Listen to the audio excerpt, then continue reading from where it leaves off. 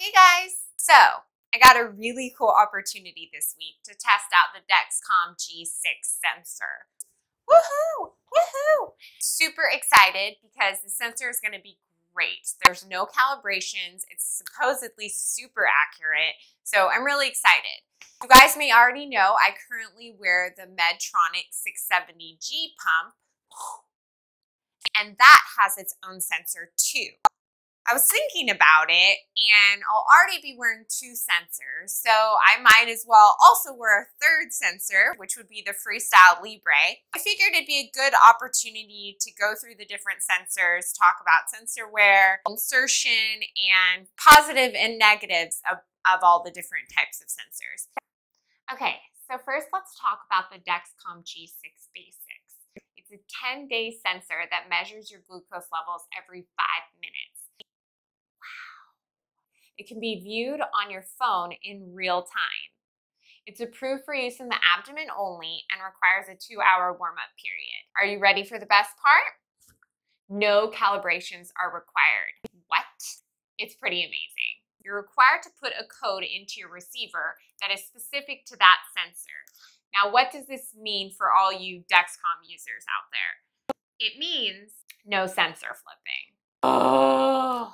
If you don't input the code, the Dexcom G6 will work similarly to the G5 and will require two calibrations a day. One of the things I really like about the Dexcom G6 is that it has share technology, which allows people to follow your Dexcom readings and see them in real time.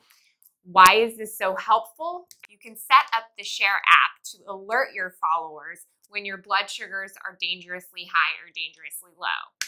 Everyone needs backup, so this is really great for people who live alone. It's also awesome for parents to be able to see their kids' readings on their own phone while their kid still has the CGM readings on their personal phone as well.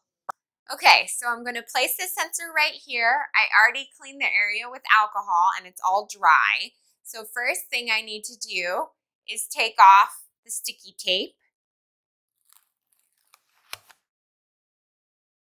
Next, I'm going to place the sensor where I want it to be located on my lower abdomen. I'll remove the lock. And then I just have to press the button. That didn't even hurt. And lift straight off. Easy peasy. Okay, now I'll attach the transmitter.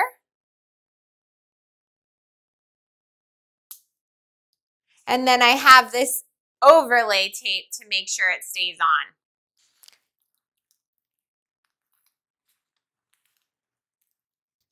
Wow, that was really easy. The Dexcom G6 sensor is 30% smaller than the other Dexcom sensors. As you saw, they also changed the auto inserter to make it really easy. Just one push of a button and that's it. So simple. It's also the only CGM approved for really little kids, two and up, in fact. How cool is that? Let's talk about the Freestyle Libre. Freestyle has a 10-day sensor wear. It requires a 12-hour warm-up period and is approved for ages 18 and up. And guess what? No calibrations are required for this one either. The only time you need to do a finger stick is when the symbol appears on the reader. It also has a built-in blood sugar meter into the reader, which is super convenient. All that's required is a prescription and you can pick it up at any pharmacy. The out-of-pocket cost is also very affordable when compared to the other sensors. I have the inserter, the sensor, and the reader I'm going to open up the sensor. Then I open the inserter, line up this little opening with the line on the sensor container. You push down to load the sensor and pull straight up. Now insertion is easy. All you have to do is place it on your skin and push down. And this blue part is going to retract into the gray and insert the sensor for you.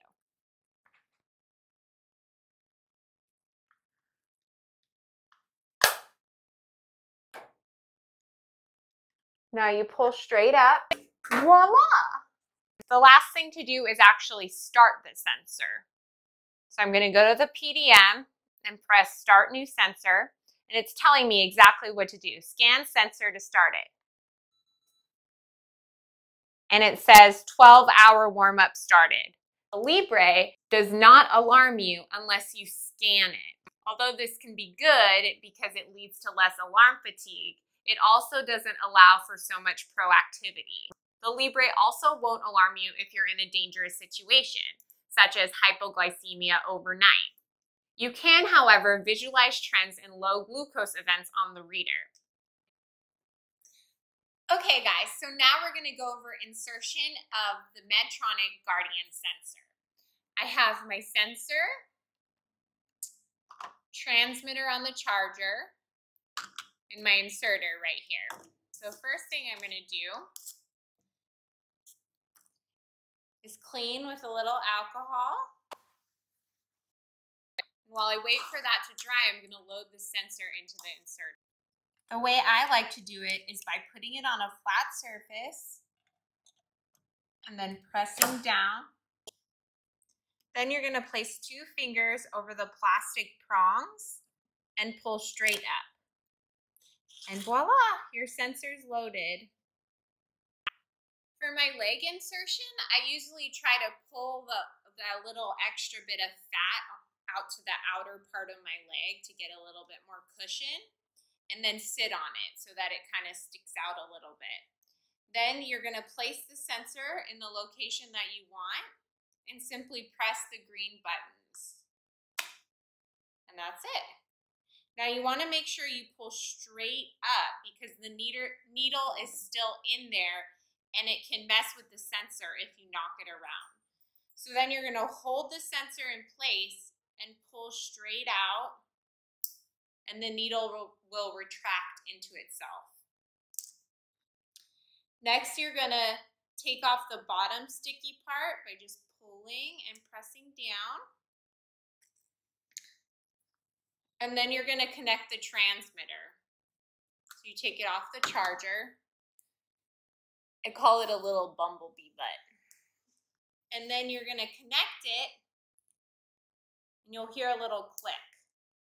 Now you want to wait and make sure that after you connect that you see a green light. Oh, there it is. And that means that it's connected and it's that it's working well. Now all, all that's left to do is secure it down. So I have it's secured and then I feel a buzz from my pump because it detects a new sensor. So I'm just going to say yes that I want to start new sensor. And that's it. I'm in the warm up. Here are the Guardian Sensor 3 basics. It's approved for ages 14 and up, requires two to three calibrations a day, and has a two hour sensor warm up period. Since it is not a standalone system, we have to talk about it in conjunction with the 670G pump that it runs with. So far, 41,000 patients are on the 670G with the Guardian 3 sensor. Of the 41,000 patients, their estimated A1C is approximately 7.1%. That's pretty darn good. These patients also have less than 0.3% of their blood sugars below 50. Why do we even care so much about A1C? We used to think it was a good predictor of how we were doing, but it doesn't account for fluctuations in blood sugar. Someone with a lot of lows can still have a near perfect A1C. Clinicians now are starting to look closer at time in range. On average, the 41,000 patients spend 72.1% of their time between the numbers 70 and 180. At night, this number goes up to 76.9%. All of this with only 0.2% of their time spent below 50. This system can provide invaluable peace of mind for not only patients, but their loved ones as well. Overall, I had a really fun time doing this experiment. And the best thing that I learned was that all the sensors are amazing. They're all very accurate and I found them all to be very comfortable as well. All in all, I think there's something out there for everybody. I hope you guys learned something about CGMs today. Bye!